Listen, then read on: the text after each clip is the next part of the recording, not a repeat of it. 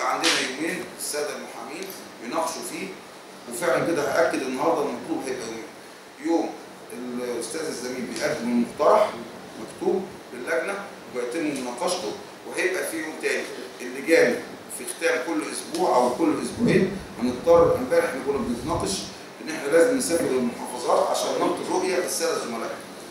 بعد كده بقترح إن يوم كل أسبوع سيسترد طبعا الزملاء ليكم طبعا يوم نازل فيه نلتحم مع الشارع مع جميع النقابات الأخرى جميع التيارات السياسية ان تحضر معنا حتى نشكل قوة ضاغطة لرأينا. أنا مع أستاذ خالد ومعاكم جميعا إن مفيش حد هيفرض الدستور القادم علينا وإلا سيكون هناك ثورة أخرى وثورة أخرى حتى تتحقق مكتسباتنا.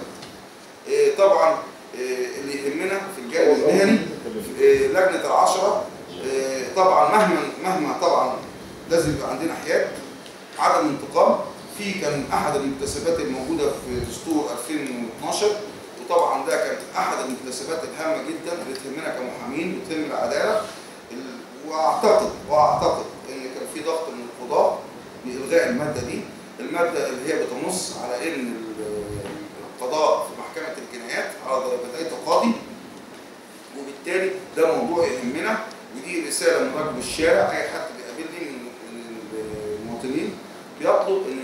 تعود لأن المادة دي هيترتب عليها إسراع في المحاكمات وقد يكون بريء زي ما شفنا زميلنا اللي بيتكلم على والده قد يكون الإسراع بيها دوائر ثلاثة أو خمسه فاللي بيهمنا كمان إن إحنا هنشتغل إزاي؟ أنا بقترح إن هيبقى فيه يومين لينا كمحامين ويا ريت وإحنا بندير النقاشات هيبقى في ترتيب الأخ مثلا الزميل اللي مقدم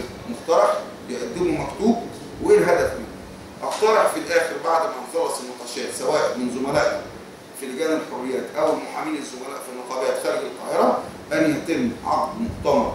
ونقابة المحامين كمؤسسة عندها فوق ال 20 30 40 مليون توكيل من الشعب المصري أن يكون ذلك المؤتمر مش هنقول عالمي شعبي يطرح الرؤية لتكون ضابطة لأن إحنا هنمثل رؤية الشعب المصري. فالمؤتمر ده لازم يتعمل لينا ولازم لجنة الاستماع تستمع لأكبر قدر من المحامين أنا كان طبعا في زملاء كتير واقف انت عارف يا أستاذ ان كان بيطلب مننا نروح مجلس الشورى وما كناش بنروح لأن كنا مقتنعين إن الدستور